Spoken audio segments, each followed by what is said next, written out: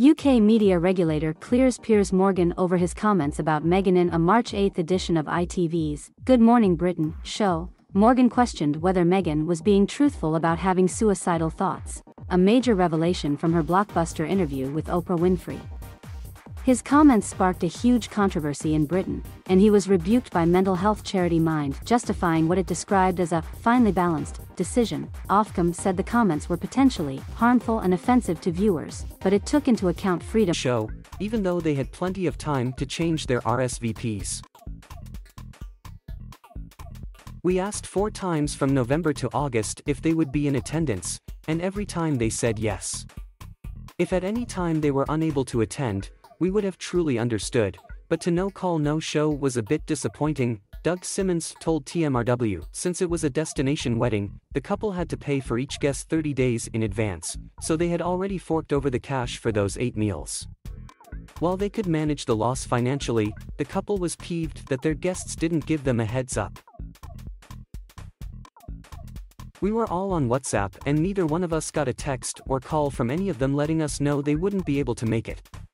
When we got home from Jamaica, there was still no call or text, Simmons said. At that point, the groom channeled his creative side and whipped up a fake invoice that charged the no-show guests for the meals they didn't consume. The words, no call, no show guest, are featured prominently on the $240 invoice that includes the following note. This invoice is being sent to you because you confirmed seat at the wedding reception during the final headcount. The amount above is the cost of your individual seats. Because you didn't call or give us proper notice that you wouldn't be in attendance, this amount is what you owe us for paying for your seat in advance.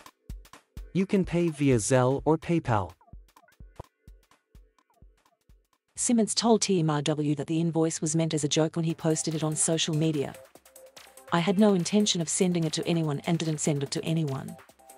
I knew just posting it alone would get them in their feelings, which it did he said. Plenty of social media users have shared the invoice on their own pages, including Twitter user at Phil underscore was underscore, who told TMRW that he thinks it sparked a good conversation about wedding etiquette. I understand that weddings are expensive, but I wouldn't RSVP to something without knowing for sure I could come.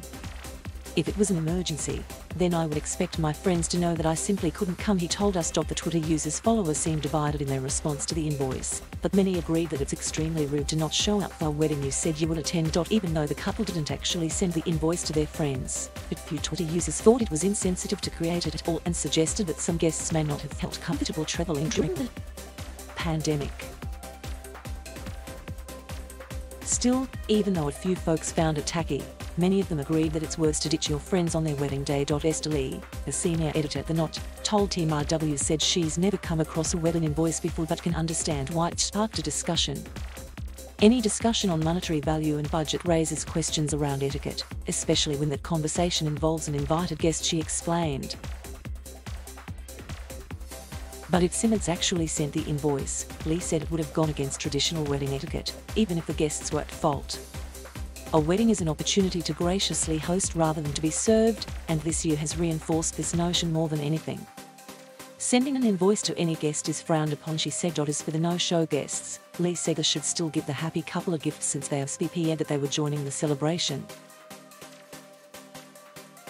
If you must back out of a wedding at the last minute, it's very much encouraged for guests to give as much notice as possible and still send a gift, she said. Janessa White, co founder of Simply Elope, told TMRW that couples should budget for no shows or guests that cancel at the last minute, but agreed that this invoice is one example of how the wedding industry is hugely out of control when it comes to costs from big businesses charging more for a wedding than for, say, a retirement party, for the same service or rental, to couples losing tons of money on deposits from cancellations and postponements. We're seeing many instances of exploitation in the wedding industry, she said. Doug Simmons told us he's gotten plenty of messages from other couples who have similar wedding horror stories.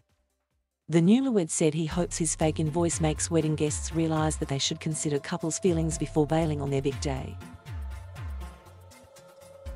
Putting together a wedding isn't cheap, and it doesn't matter if you're poor or rich, no one wants their money wasted. It's about integrity and having morals, he said. Thank you for watching. Please subscribe